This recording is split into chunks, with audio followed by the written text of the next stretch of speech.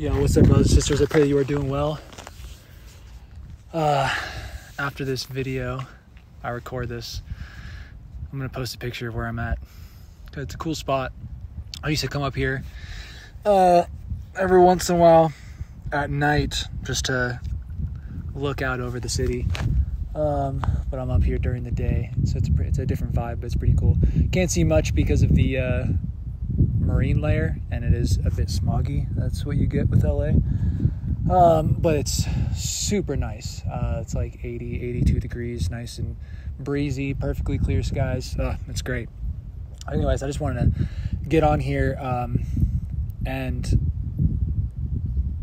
share some stuff with the with Ephesians. Just just read the word. Come under the hearing of faith. Faith comes by hearing, and hearing by the word of God. Uh, and uh, we know that the Spirit that is ministered to us and worketh miracles among us is by faith, not by the works of the law. So, if we want to eat and drink of Christ, brothers and sisters, we can come right to Him. We can come directly to Christ in the Word. We can say yes and amen. We don't have to go through a mediary of the law, which is no mediary. Only there is one mediator, it's Christ.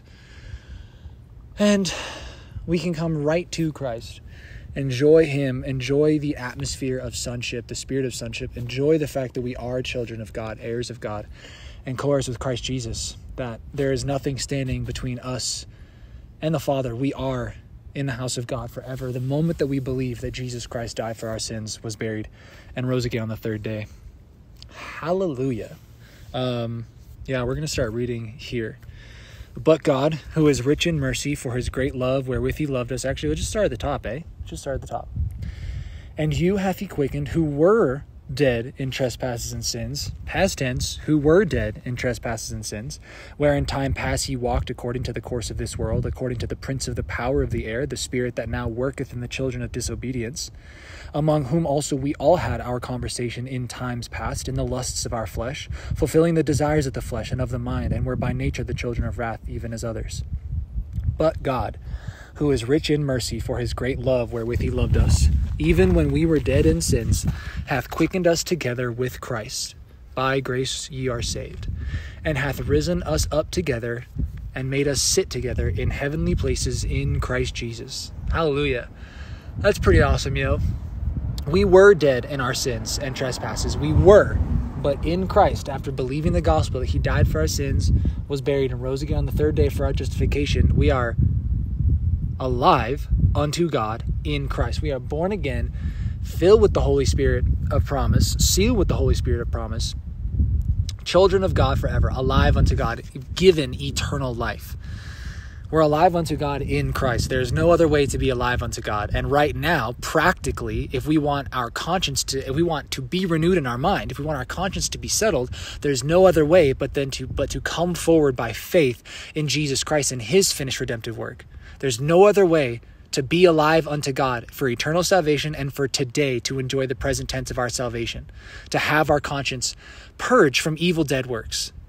And that is by faith in the blood of Jesus Christ this service to God is us just coming is us coming forward in faith, believing his word, saying yes and amen, saying yes, I am crucified with Christ. You are not asking for extra efforts and dead works from me as I go about and try to strive in the uh, strive in the law and commandment keeping and all this stuff, which is just going back into bondage and fear and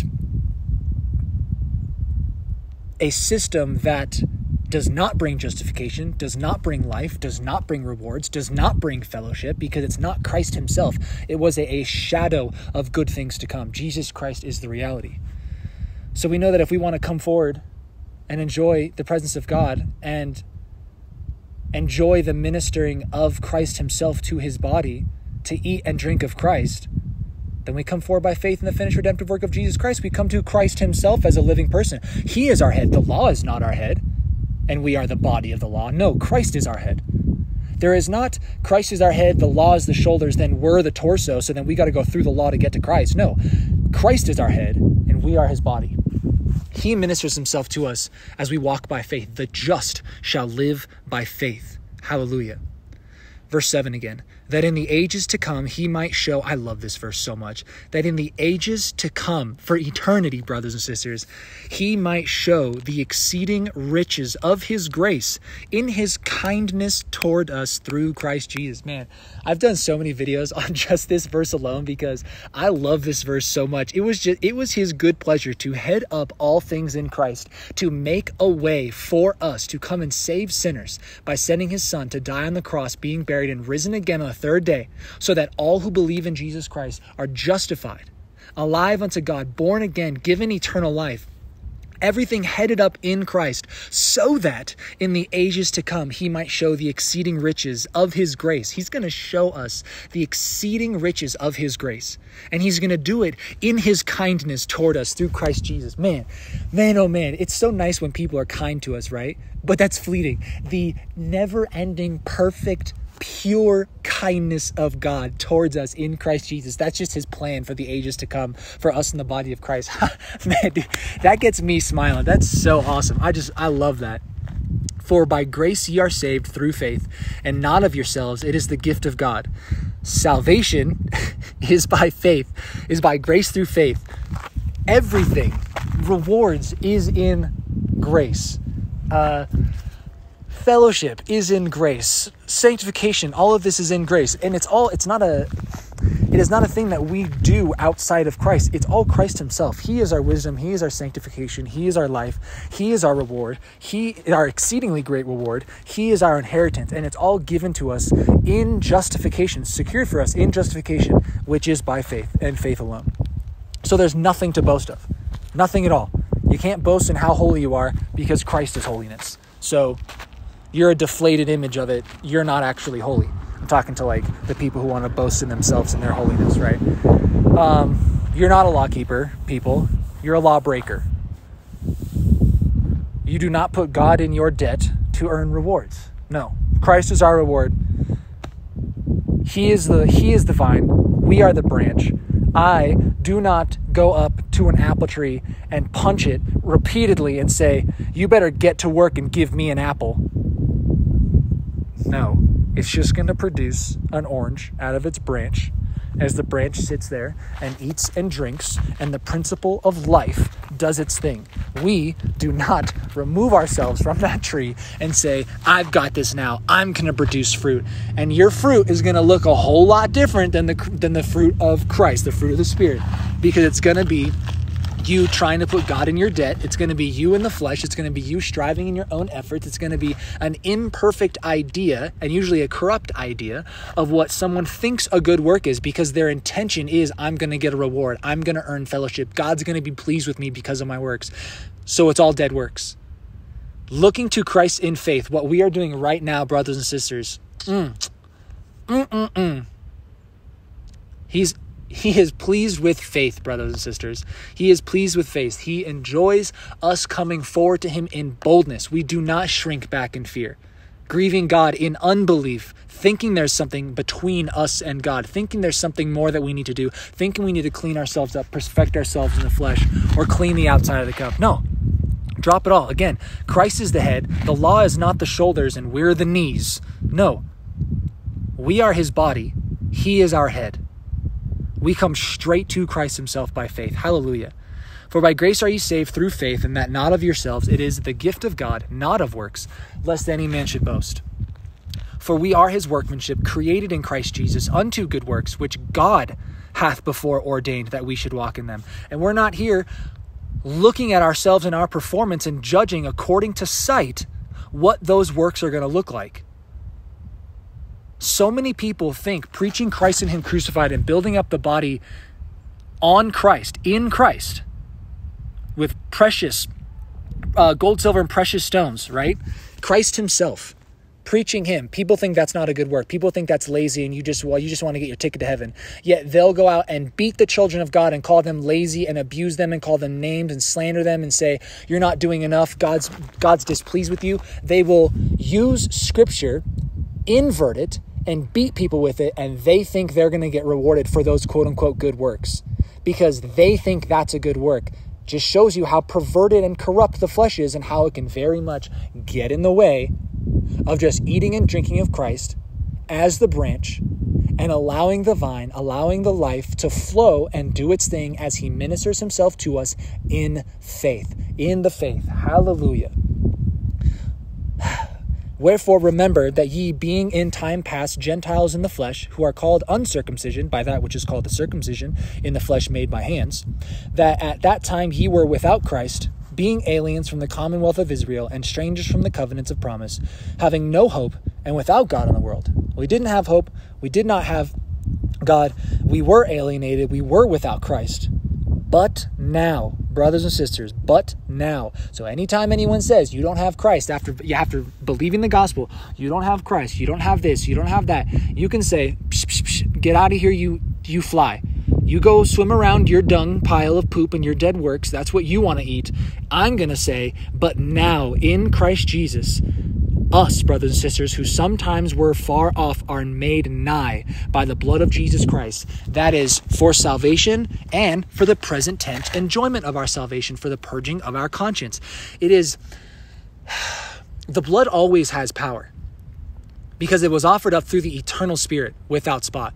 Christ offered himself up through the eternal Spirit outside of time anytime someone says blah blah blah this and that you're separated from god you don't have this you need more you're not going to get rewarded you're lazy go away. Again go back to eating your pile of poop and your own dead works that you keep shoveling into your pile more and more and saying nom nom nom look at this i'm so much better than you while we can laugh at them and say you have no idea what you're actually eating and what you're trying to present to god. How about um, i'm going to go over here with my brothers and sisters who want to be built up in the faith, and we're going to preach Christ, and we're going to present ourselves as holy and unblameable in Christ to the Father, which is our living sacrifice, right?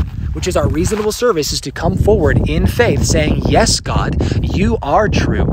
You are not like man who is a liar. You are true. I am complete in Christ. I was far off, but now I am nigh by the blood of Jesus Christ. He is our peace, who has made both one and has broken down the middle wall of partition between us, having abolished in his flesh the enmity, even the law of commandments contained in ordinances, for to make in himself of twain one new man, so making peace. Do you see how we're emphasizing him in God, in Christ, what we have in him, what he has done? And how edifying it is to look at Him and boast in Him and praise the Lord and say yes and amen to what Christ has done and who we are in Christ and everything He is to us, so much better than looking at ourselves, trying to say, What am I lacking? What am I missing? What more do I need to do? And I must measure it by what I see and what I feel.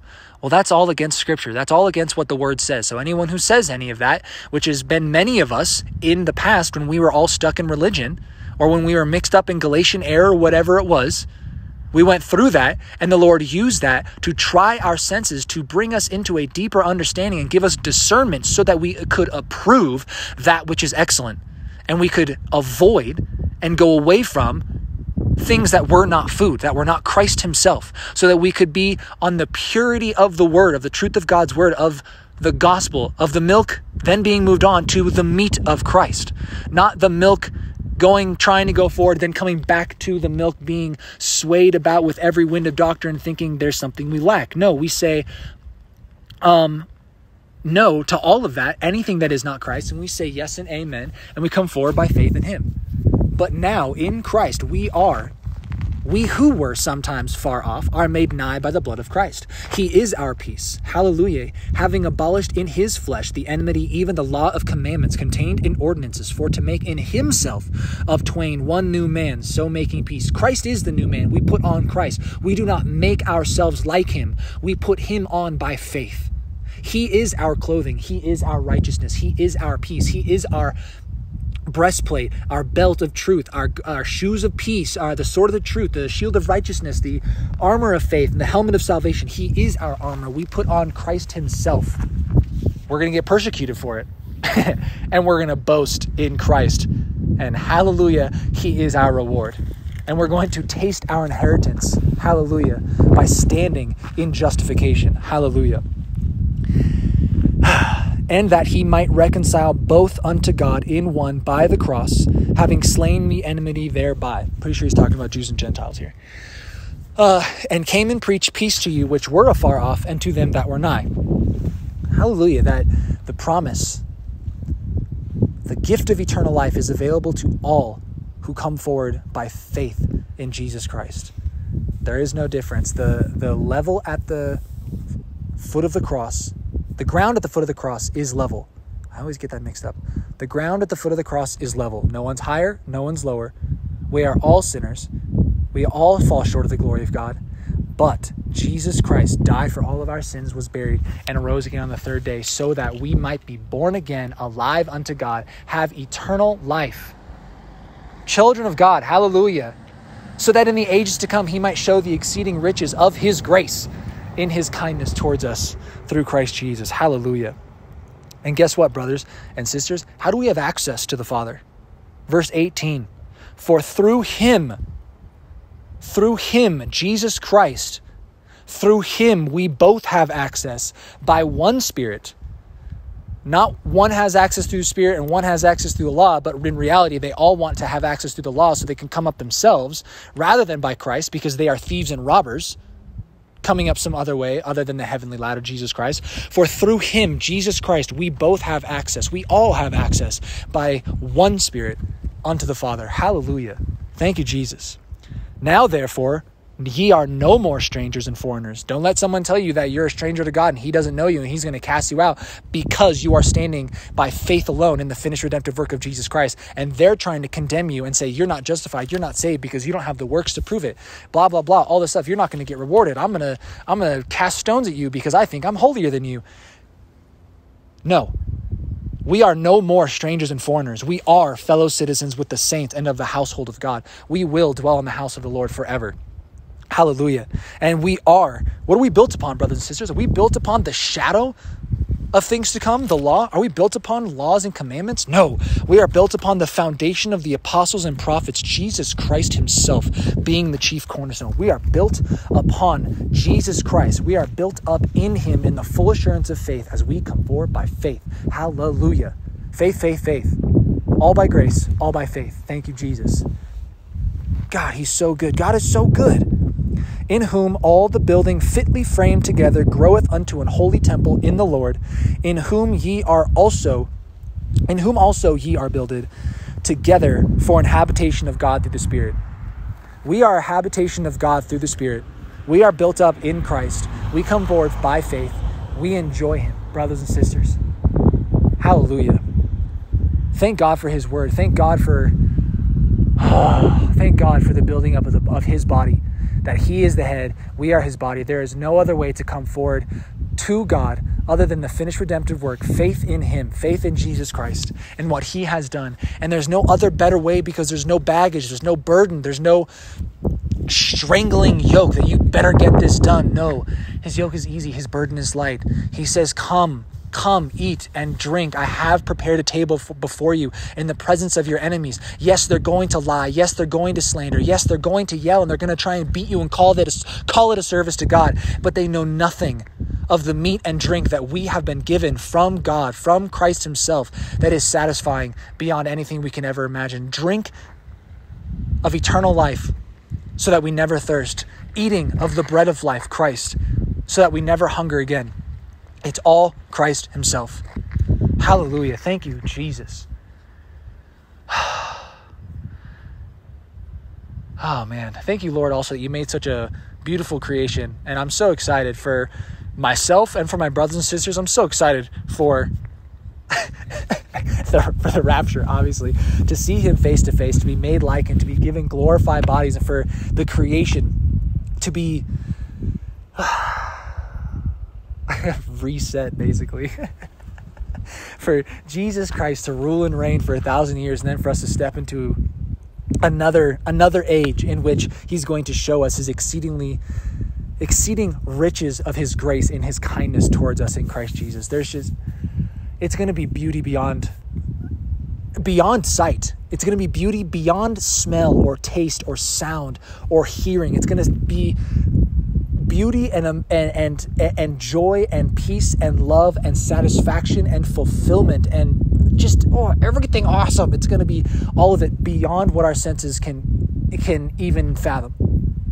It's going to be so good, and it is so good right here, right now in Christ. This is the weakest that we're ever going to be, brothers and sisters. So there is a sort of beauty in that struggle in which we cling to Christ, in which Christ is wrought into us through our trials and temptations and the and the persecution from the religious and from the world itself. There is a, a beauty in that as we cling to Christ and as He ministers Himself to that.